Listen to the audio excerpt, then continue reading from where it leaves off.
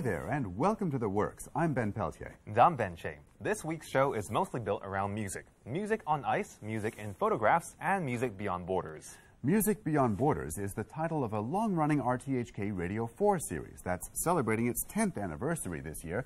Later in our show, we'll be bringing you some of the artists featured this time around, including music from the Netherlands, Austria, and Switzerland. We'll also be looking at rock music through the camera lens as we talk to British rock photographer and the founder of Rock Archive, Jill Furmanovsky.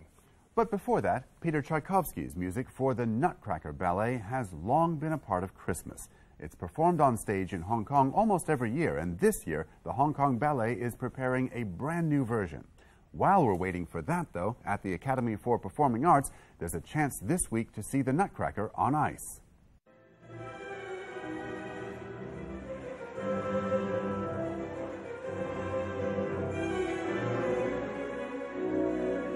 It was just to show that we do something unique, which is the introduction of the Nutcracker doll.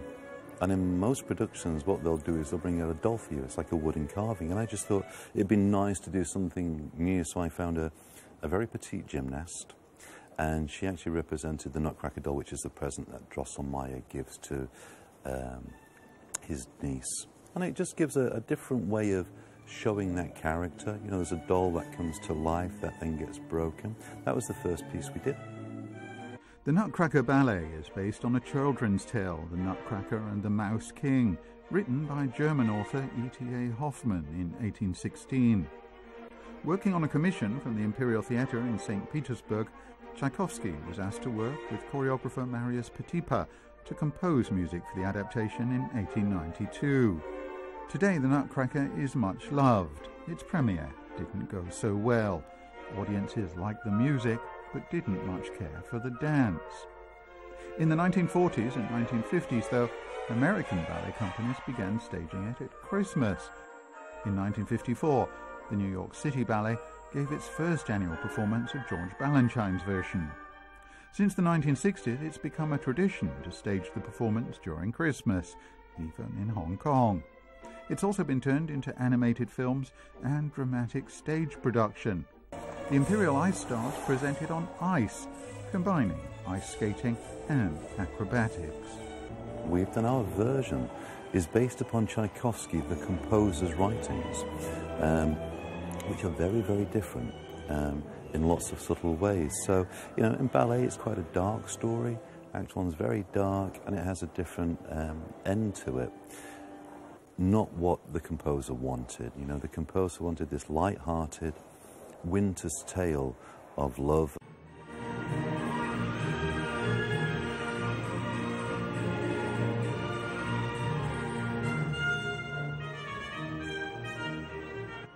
The show's performed by a cast of 25 professional skaters, many of whom have previously won international skating competitions.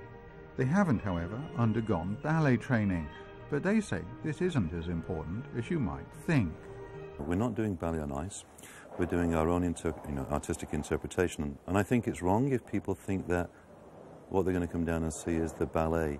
And a lot of people think it's plastic ice. I promise you, it's realized there's 15 tons of it on the stage, all at a, you know, a temperature of minus eight. What they're doing on the stage is quite dangerous. You know, 30, 35 kilometers an hour, they're moving at great speed.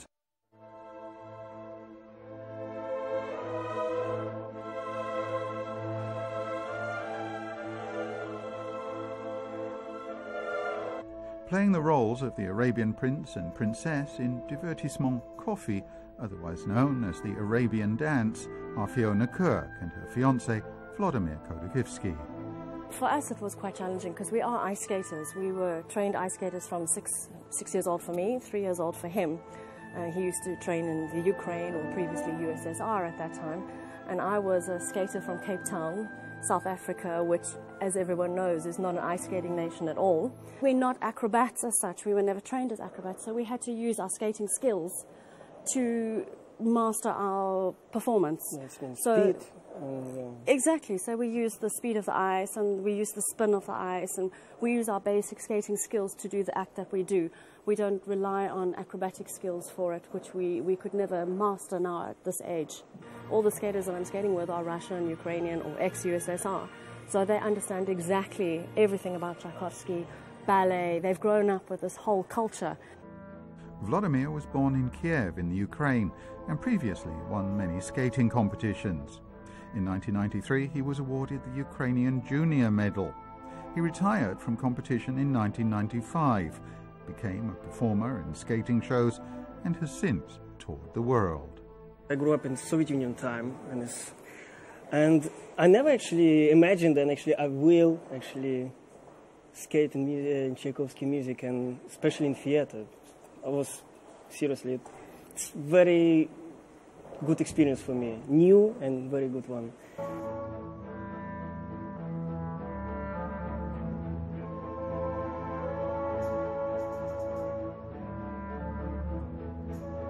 I think it's symbolic. The story is beautiful. I mean, you know, it's all about a Christmas present that's given to a young girl, and, and it's her dreams behind her present. And I think also the, the theatrical staging, you know, it's a winter's, it's a winter's tale.